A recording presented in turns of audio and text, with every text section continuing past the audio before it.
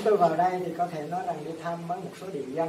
Và mỗi địa danh đó thì chúng tôi cũng đã từng biết trong cuộc kháng chiến chống Mỹ cứu nước. Và tôi cũng từng nói với lại anh em của quân khu, bởi vì vốn tôi trước đây là giáo viên của trường đại con việt động quân khu. Và vừa qua thì tôi nói lại nó có là chí trong việc làm của thành phố Sài Gòn gia đình. Những cái chiến công đó có gì nghĩa vô cùng to lớn. Bởi vì chúng ta đã làm rung chuyển cả thành phố Sài Gòn một cái trung tâm đầu não. Mà những vậy cho rằng bất khả xâm phạm. Và mỗi tiếng nổ trong thành phố Sài Gòn cũng như đó thành phố Đà Nẵng không chỉ có tác động đối với cuộc kháng chiến chống Mỹ cứu nước, mà nó có tác động gây tiếng vang lớn trên trường quốc tế. Và chính cái sự vận động, ủng hộ, giúp đỡ Việt Nam kháng chiến chống Mỹ cứu nước thì do nhiều nguyên nhân nhưng trong đó có nguyên nhân là những tiếng nổ của lực lượng biệt động của chúng ta, đặc biệt là lực lượng biệt động là Gòn gia đình cho nên đến với những nơi này, chúng tôi luôn nhớ và luôn nghĩ rằng mình cũng là một trong những thành viên góp phần để tạo nên cái thành công, cái thắng lợi vĩ đại của dân tộc chúng ta trong sự đóng góp của hàng triệu hàng triệu con người trong suốt thành mốc ngàn trong mỹ trung nước. Và chúng tôi đến nơi, những nơi này thì là cái thấy trách nhiệm của mình và nhân có đồng chí phó chủ nhiệm chính trị quân khu bảy, có các đồng chí. Tôi muốn nói rằng, đất nước chúng ta ngày càng phát triển.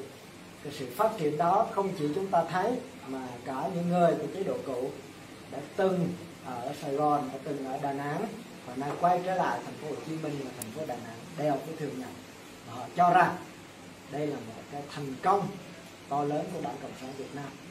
Tuy nhiên bên cạnh đó có lực lượng thù địch các thế lực chống cộng và đặc biệt là lực lượng diễn biến hòa bình. Và tôi chỉ xin nhắc lại với các đồng chí câu nói của nguyên bộ trưởng bộ ngoại giao John Kerry. Khi ông ta còn làm bộ trưởng của thời tổng thống Obama, ông ta nói rằng, đối với cộng sản thì dùng bạo lực, cộng sản cần phát triển. Nhưng chúng ta làm, tiến hành bằng phương thức hòa bình thì chúng ta đã thành công. Và Việt Nam để chứng minh sự thành công đó hiện nay ở Việt Nam chỉ còn cái chủ nghĩa tư bản cuồng nhiệt không còn chủ nghĩa cộng sản.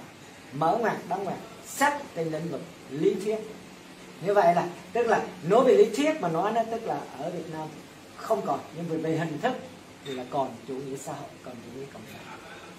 Tôi và ngài, ngài John McCain có quyền tự hào về điều đó bởi vì chúng tôi là những người đặt nền móng phương thức hòa bình ở Việt Nam tôi và ngài tổng thống Obama vừa dự lễ công bố quyết định thành lập Fulbright Việt Nam. Cho nên anh hiểu nhớ rằng đang ở thành phố này, cái trường đó đang ở thành phố này. Trường này có nhiệm vụ đào tạo thế hệ kế tiếp xây dựng thành công chủ nghĩa tư bản không cộng sản ở Việt Nam. Tôi nêu vấn đề đó để nói với các đồng chí rằng là kẻ thù luôn luôn tìm một cách để diễn biến hòa bình trong pháp chúng ta. Còn nó làm được hay không? Điều đó là do chúng ta quyết định. Thế thì chúng ta như thế nào? Thì đảng ta đã nói có một bộ phận không nhỏ tự diễn biến, tự chuyển hóa. Hay nói cách khác, tức là sự thẩm thấu diễn biến hòa bình để tác động vào nội bộ chúng ta và đạt được kết quả ban đầu. Có những kẻ là đảng viên, là cán bộ, kể cả ở cấp cao.